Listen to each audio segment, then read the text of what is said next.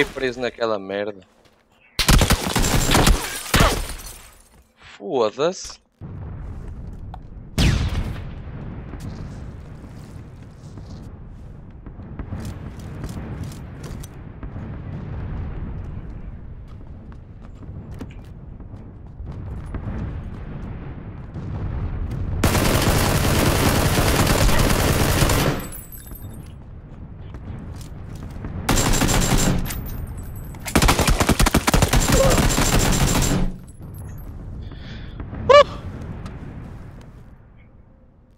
Get wrecked, baby.